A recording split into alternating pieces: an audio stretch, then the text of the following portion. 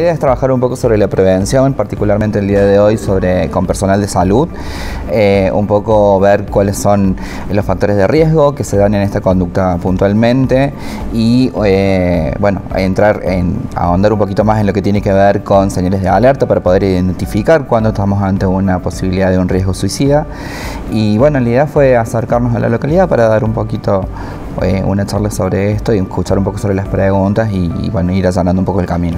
Bien, esto fue dirigido a personal de salud. Bueno, ¿a qué otro personal, por ejemplo, de bomberos, eh, distintos entes que se recurren en primera instancia y muchas veces ante una situación de estas? Exactamente. Eh, si bien hoy está destinada particularmente a personal de salud, también hacemos formaciones que tienen que ver con personal de primera respuesta, que sería bomberos, policía, para que puedan estar con las herramientas mínimas para poder dar atención a, esta, a estas situaciones y eh, luego también trabajamos con, en prevención con, eh, con población en general, con fuerzas vivas, eh, para que también puedan tomar un poco de rol en cuanto a prevención comunitaria. Bien, la importancia de estas herramientas, contanos un poquito de qué se trató, cómo fue la, la disertación, también las preguntas. En principio uno lo que intenta acercar son herramientas para la detección y la evaluación del riesgo suicida y en segundo nivel estamos hablando de algunas intervenciones para saber qué preguntar, saber cómo intervenir, de qué forma hacerlo. Em, y también en este caso con, los equipos de salud que, tengan algunos de los criterios de internación necesarios para, para saber cuándo internar a una persona que está pasando o transitando una crisis que no en todos los casos se hace y en algunos momentos es importante poder internar a una persona que, atraviesa una crisis. Así que bueno, es un poquito lo que, lo que fuimos viendo hoy con, ellos. Eh, había mucho interés acerca de, cómo poder facilitar eh, los espacios, cómo aprender a referir a una persona que está transitando una crisis, eh, tal vez en, en, el interior, donde los, por ahí los recursos escasean un poco más, entonces eh, poder establecer mesas de trabajo para poder eh, encontrar nuevas ideas y nuevas formas de solucionar los, los, problemas de recursos que a veces nos encontramos como comunidad. Bien, importante también para destacar de estos temas que se traten, que se hablen en los medios de comunicación y en la gente en general. Sí, con respecto a eso, como hay que hablar de, la problemática suicida, pero hay que hablar con cierta sensibilidad. ¿sí?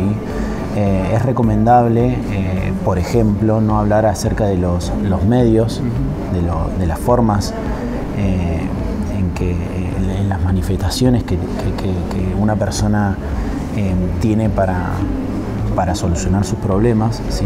más bien por ahí acercar información acerca de las vías de, de comunicación a las cuales acercarse, Em, se puede hablar acerca de, cómo ayudar o qué hacer cuando una persona eh, o un allegado nuestro, un amigo, eh, se encuentra en una situación de crisis, pero nunca hablar de las, manifestaciones o de los métodos, ¿sí? ya que podríamos estar eh, colaborando al,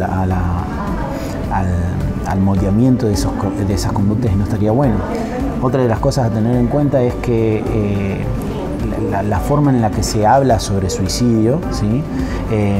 Es importante no, no, transmitir rumores, ¿sí? no, hablar en, cuestiones específicas acerca de la vida de una persona que está transitando eso o, cuando haya sucedido no, divulgar información personal y demás que no, que no ayuda más que a generar interpretaciones y juicios. Eso es importantísimo. ¿cómo vienen trabajando un poco con este programa desde la provincia? ¿Van recorriendo el interior? ¿Cómo es un poco? Vamos recorriendo el interior eh, fundamentalmente a través del pedido de cada una de las localidades que están interesadas en que, en que estas temáticas se trabaje em, y se van programando algunas, algunas capacitaciones particulares que también se ofrecen. El programa también tiene un dispositivo presencial y de atención para adolescentes entre 15 y 25 años que lo damos, eh, que se da en la ciudad de Córdoba eh, que es el dispositivo asistencial con el que, con el que trabajamos. Eh, y también tenemos otro dispositivo que es de acompañamiento a personas en duelo por suicidio, familiares o allegados, con los que trabajamos también de manera presencial acompañando un proceso de duelo, que es un proceso de duelo un poco más complejo que un duelo eh, por otro, por otro tipo de muerte. es un poco lo que hacemos desde el programa y a través de la Secretaría. Bien, importante también, diferentes herramientas o plataformas donde la gente puede, puede acceder y estar en contacto también. Exactamente.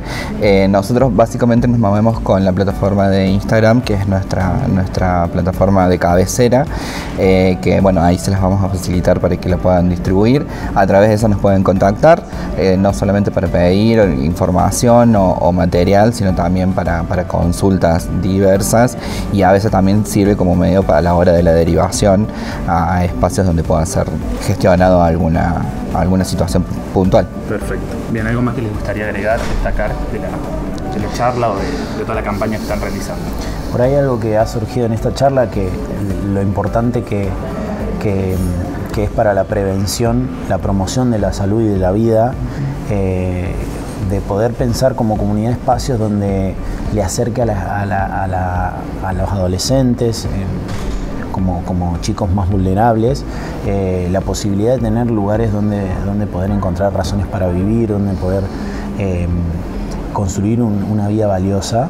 Eh, va a ayudar a la, promoción de la salud y estamos previniendo al mismo tiempo. Así que bueno, eso ha surgido hoy en la charla de hoy, estuvo lindo y, es un poco nuestra intención también eh, a la hora de acercar estas capacitaciones.